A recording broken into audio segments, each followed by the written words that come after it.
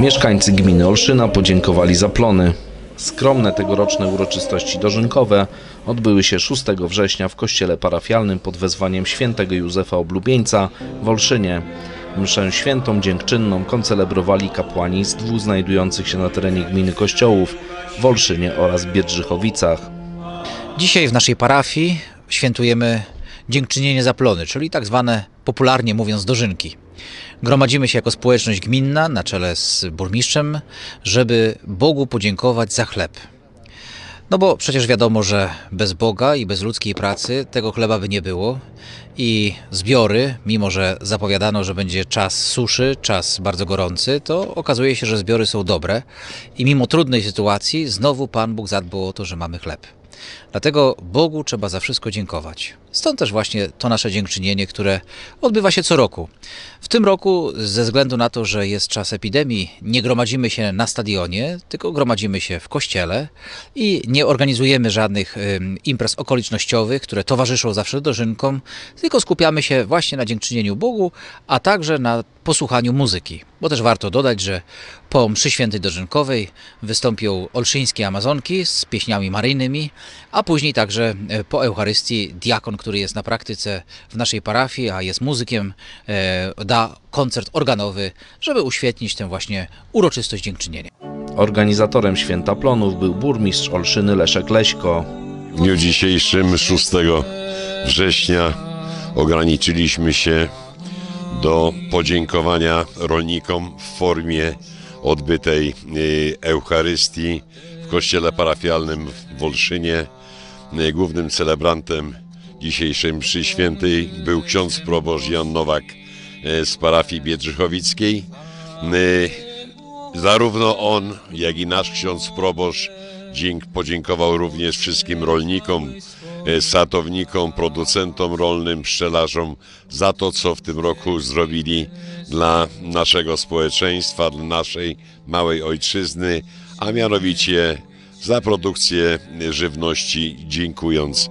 Ja również e, włączyłem się do podziękowań w imieniu samorządu gminnego, jak i też Rady Miejskiej w Olszynie e, dla wszystkich producentów rolnych, bo jest to dzień, gdzie trzeba pamiętać o tych wszystkich, którzy ciężko pracują na roli, którzy oczywiście e, produkują e, ten chleb dnia codziennego, prawda, który spożywamy, tym wszystkim, którzy e, wraz ze swoimi rodzinami nie szczędzą czasu i sił, ażeby ta produkcja rolna po prostu miała określone pozytywne efekty. Jeszcze raz na zakończenie chciałbym serdecznie podziękować wszystkim tym, którzy uczestniczyli w dniu dzisiejszym w podsumowaniu tegorocznego święta plonów w kościele parafialnym pod wezwaniem świętego Józefa w Olszynie. Serdecznie dziękuję. W uroczystościach wziął udział przewodniczący Rady Miejskiej w Olszynie Wiesław Wypych. Ogromny szacunek dla wszystkich, którzy swoją pracą przyczyniają się do rozwoju naszej miejscowości, naszej gminy. Skromne, no tak, skromne, ale myślę, że bardzo uroczyste i takie bardzo, bardzo kameralne. Podejrzewam, że jak się ta pandemia nasza nieszczęśliwa zakończy, to odbijemy sobie wszystko w przyszłym roku i wszyscy mieszkańcy tradycyjnie spotkają się zarówno z kapłanami, jak i rolnikami, jak i z pozostałymi naszymi gośćmi na naszym stadionie i wtedy dożynki będą.